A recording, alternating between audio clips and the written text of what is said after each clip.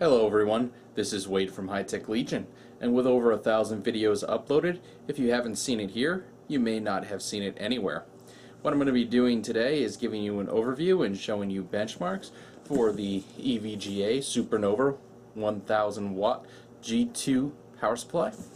Um, so let's take a closer look at the power supply itself and I'll show you what it looks like, what it comes with, um, and how it performs with benchmarks.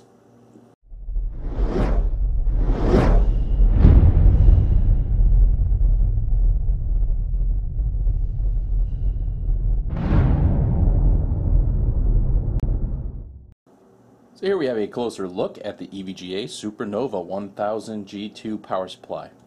And on the left side of it, um, you've got your uh, power chart here, which shows us that the 12 volt rail is capable of 83.3 amps and 999.6 watts. Um, you do have a single 12 volt rail and this is a fully modular power supply so it doesn't have any cables coming out of it until you're ready to use it.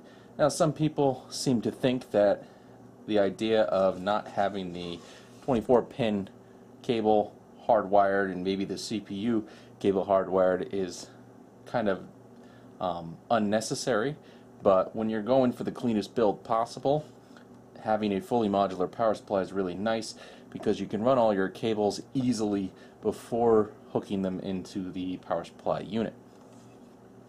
So all our connections here, we've got our 24 pin uh, motherboard connection where your modular cable will plug in.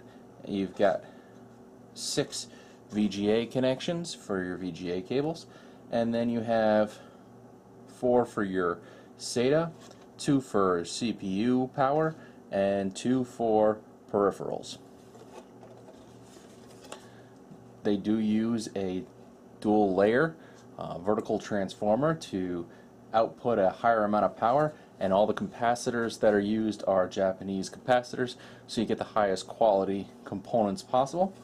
On the back side you've got a grill for some airflow and your power plug and power switch and then on the fan side you can see the EVGA logo and the 1000 watts here as well as a nice uh,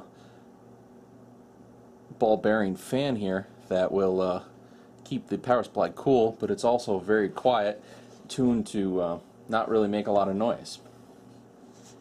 So let me show you the accessories that come with the power supply and then we'll show some benchmarks.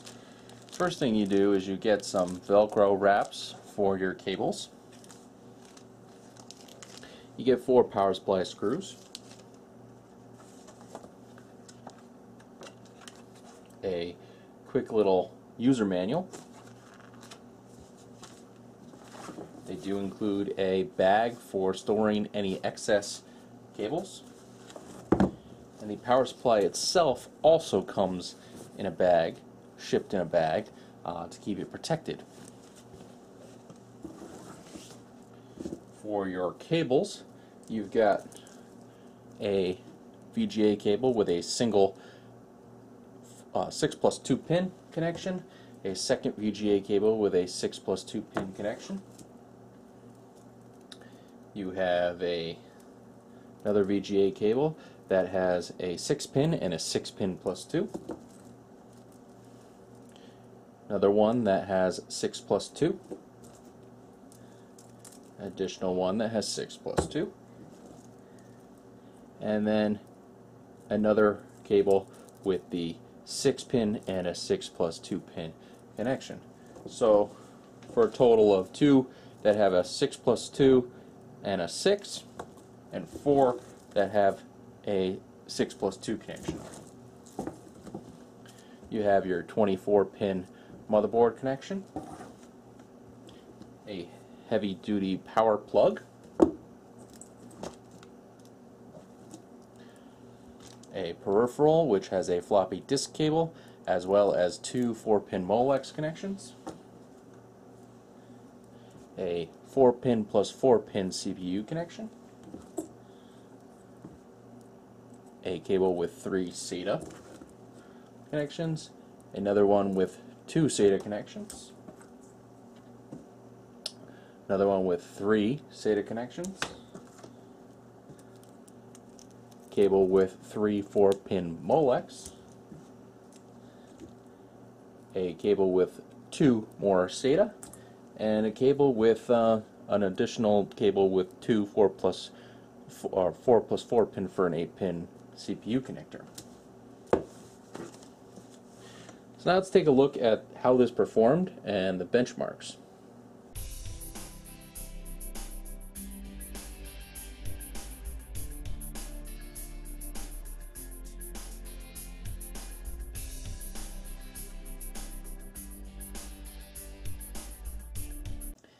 As you can see from the benchmarks, this power supply performed very well with very little um, voltage dip.